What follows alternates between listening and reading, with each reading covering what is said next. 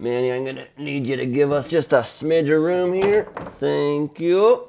So at the beginning of the last year, I made this list, and the goal was that by the end of the year, I was either going to make some of this stuff or buy the other items.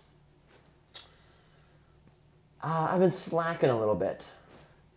So I figure this week I'm gonna head out on a shopping trip around town. Now, specifically, I'm hoping that maybe I can find this cable knit sweater, definitely in white, something like this. So first up, I'm gonna go to a local spot, which is more of a antique store, but they do have a clothing section, so we'll see. And as you can tell, uh, winter wonderland right now, embracing the season. They did have an interesting selection of clothes, and yes, this was in the men's section.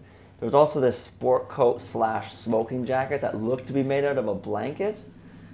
But needless to say, uh, I'm getting the sense that this is not my type of stuff. Further down the street, my old favorite, Value Village, or turns out as the Americans call it, Savers. Man, if only these weren't size 11, those are kind of fun. And after a quick investigation, I realized they were quite cheaply made. Google searched it, turns out it was a Target brand. But that's not what I was there for. So I started digging through the sweater section. And then I found this beauty. Check the tags. It was the real deal. Oh, and the fabric, so nice and soft. I, I had to try it on. It's tempting. It's very tempting.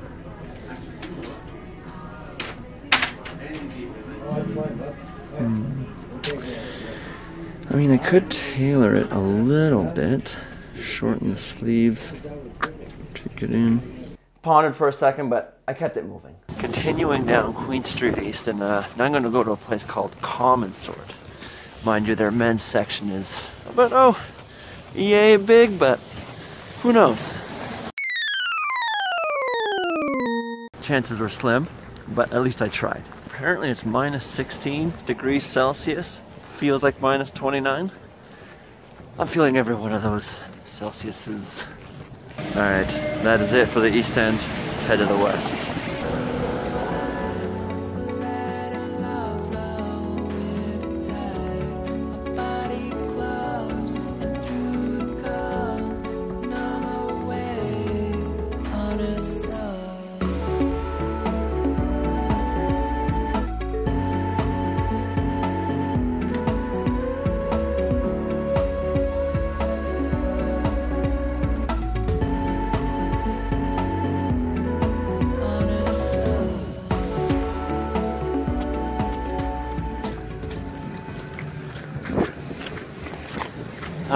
Kensington Market, what do you have for me?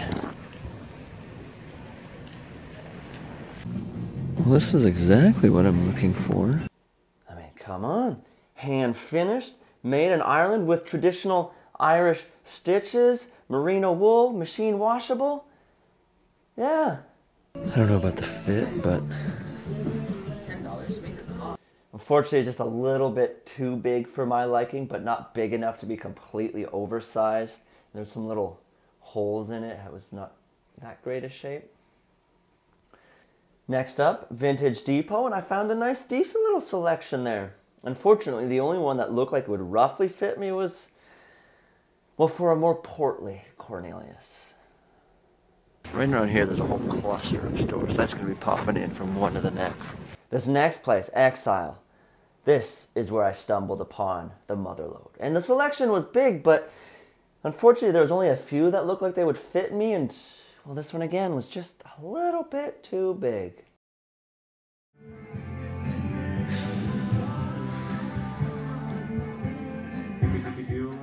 There's the rule for skinny guys, which is embrace your thinness and wear lean fitting clothes.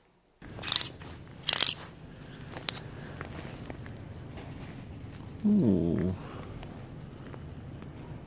This one is too small. Let's not give up now. I may be feeling a little blue about the whole experience, but keep at it. That store's got it right. Just what I need right now. I must keep my courage. If only it didn't have a zipper. Be nice. Or a hoodie, for that matter. No, definitely not it. And those are jackets. Huh. Okay. I'm giving up on Kensington. I'm gonna check out one more spot, see what I can find. I've gone full sneak mode. I can legitimately not feel my toes anymore. F as in Frank, little vintage shop on Queen West, close to Spadina.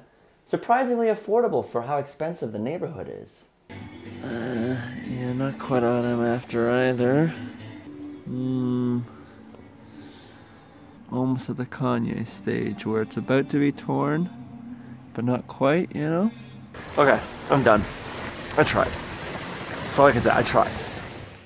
Come on, Mandy. Please don't make me beg. I'm, I'm trying to make lemons out of lemonade here. I'm already a little ashamed of the fact, okay? All right, yes, I did miss some of the obvious signs. The plunging V-neck neckline. I know, the hips, they flare out on the side. You want me to say it, don't you? I'll say it. Look, I'll say it. I've bought a woman's sweater. Oh, come on. Don't pretend like you don't want to be in these photos. You're always asking for camera time. Mandy, it actually looks pretty good on you. Wear it with pride. Come on. Oh, look at that pose. You do have a model in you. I knew it. Etsy.ca. Shop manager.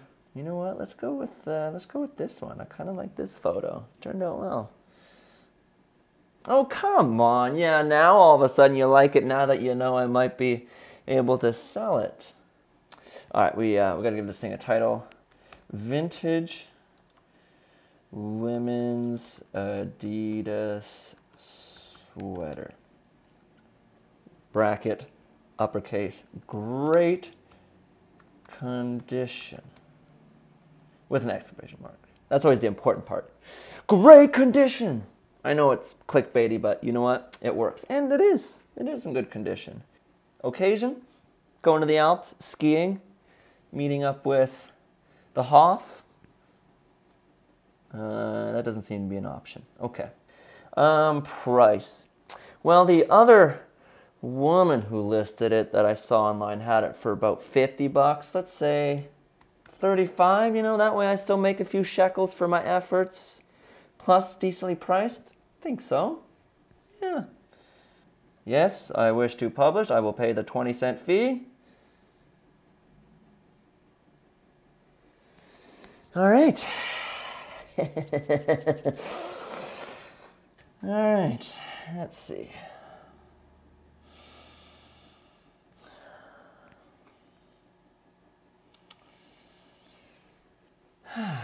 Okay, all right. Yeah. Yeah.